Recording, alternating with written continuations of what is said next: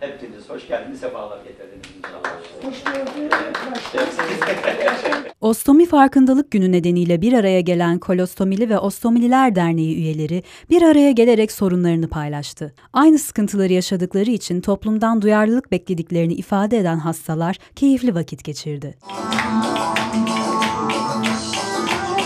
Kolostomili ve Ostomililer Derneği Başkanı Talat Can Kıymaz, hastalıkla tanışan herkese yalnız olmadıklarını hissettirmek için etkinlikler düzenlediklerini belirtti. kalıcı olarak stoma torbası takıldı.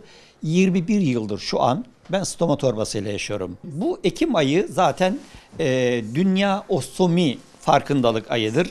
Ben de e, kader arkadaşlarımın seslerini duyurmak için yani e, benim kendi ülkemde de 400 bini aşkın stoma torbası kullanan e, kader arkadaşlarımız var. Onların seslerini biraz duyurmak için yana yalnız olduklarını e, sanmasınlar. Yani ya yüzlerce, binlerce insan stoma torbasıyla yaşadıklarını bilsinler diye bu farkındalığı düzenliyoruz zaten her zamanki gibi.